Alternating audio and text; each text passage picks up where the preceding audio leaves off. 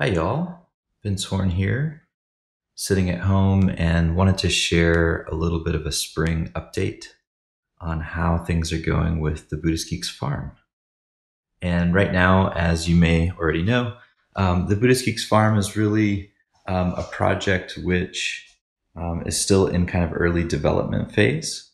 And at this point, mostly what we're doing is working on sharing the vision, um, prototyping, uh, here at home and elsewhere, and um, working toward purchasing a plot of land where we can build a small retreat center and small farm um, to feed the people that are on retreat, and maybe uh, if we can get it going, uh, share with others. So I uh, just wanted to give a brief update now that it's uh, turning towards spring, and as it does, uh, we're looking at um, sort of starting to grow and starting to do some early things. This is our second season um, um, growing, and so we're very much noobs when it comes to this, but uh, also very uh, motivated to learn.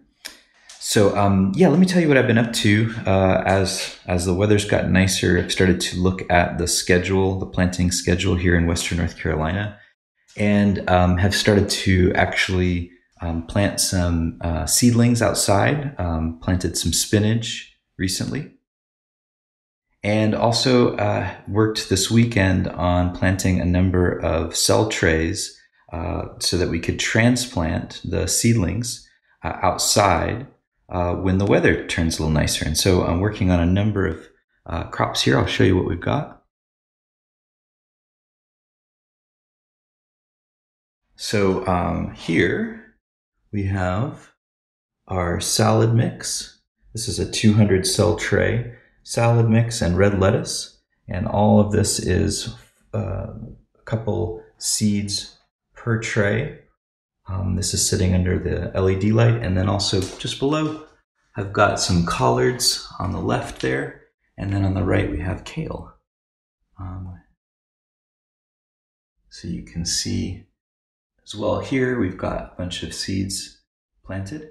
And on the bottom here, I've got one tray of microgreens growing. And um, we'll see how those turn out. The last couple microgreens we've done have not turned out particularly well. Uh, looks like they're probably overwatered. So we're working on that.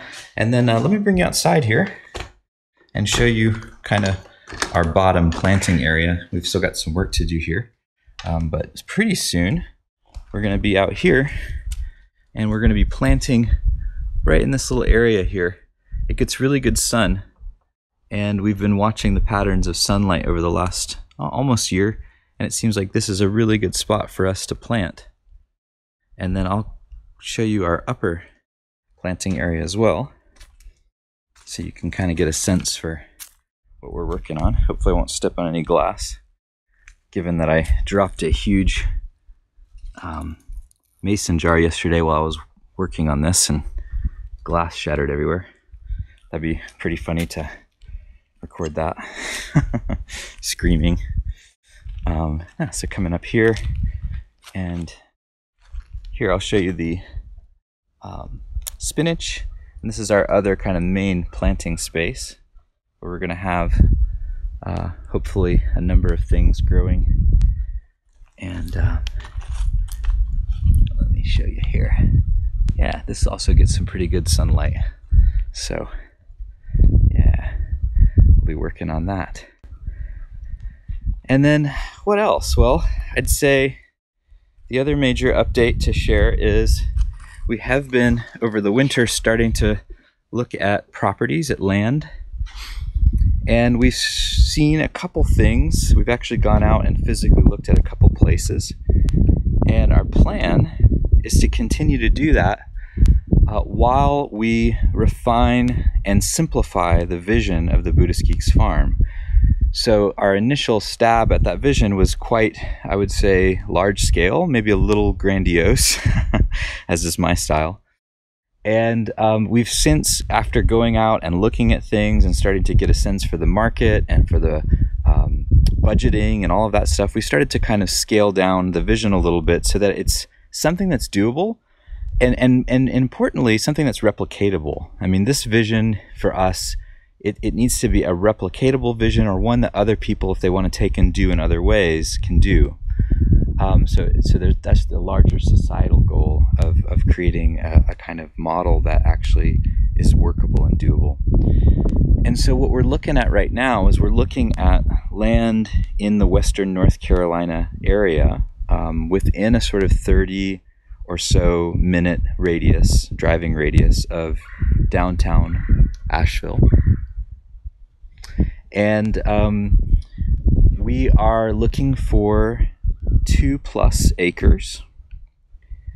And we're looking for a spot that has some cleared area so that we could very quickly get up and running with some growing, some food growing, and also space to build two structures. And the first structure would be a practice yurt, a practice space, a circular yurt that could hold um, 30 plus people. So large, uh, large practice space. And the other space would be a large dormitory space. Uh, and this would be where uh, the retreatants would be housed. This would be able to hold 10 people. And we right now are looking at the blueprints from Open Source Ecology and the dormitory that they've built using um, their open source hardware brick press, the Liberator uh, which they've already built on their farms in on their farm in fact in Kansas, Factory Farm, and we're we're looking at them as a potential partner, uh, someone who we could partner with to uh, build a low cost, eco, uh, open source uh, dormitory. And this would include a kitchen, a space to eat, and space to live. And then you'd have the practice space, and then space outside for growing and working. So, this is a very simple vision. our best estimate is that we could do all of this for under half a million dollars and that we could do it in such a way where at the end we don't really have any significant debt. Um, so this would be something that could be running uh, quite low cost and um, could be operational even um, during swings in financial markets. So this is um, again, we're aiming for sustainability. We're aiming to create a place where people can come and practice for either short periods, as little as a week, or long periods, potentially years at a time, such that um, we're able to continue to create a space of deep contemplative practice, even in the midst of times of deep uncertainty. So that this project is both a contribution in its intention to increasing um, the the, the sustainability of the human species, uh, and also at the same time is a uh, sort of neo monastic uh, space, and an, area for people who really want to dedicate themselves to practice um, and who don't really see these two aims as having to be so different the, the separation between contemplation and action. Why do these need to be different? Why do these need to be separate? Here's a little view of her, where we live. This is where I do my contemplative action the most sustainable of cars. but you know what? You need a four wheel drive to get up that dirt road. And uh, the Cybertruck is not here yet. So, anyway, this is a little bit of an update on where we are with the Buddhist Geeks farm in the spring. We're planting, we're revisioning, we're really looking to head into summer with a clear vision. And we're going to be, uh, as we get this clarified, reaching out to our potential donors. As I've said, we already have one donor who has money behind this project. Uh, we're looking to raise, I think, around a hundred grand in order to purchase the type of land that we need that meets the parameters I mentioned earlier.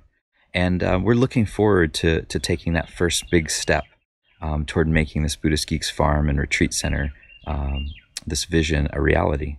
And I hope you will continue to uh, stay in touch with us. And if you have any ideas, any resources that you can contribute, um, please don't hesitate to reach out um, to join the Buddhist Geeks Farm mailing list, uh, to go to buddhistgeeks.farm. And um, yeah, let's stay in touch. And thank you so much for taking the time.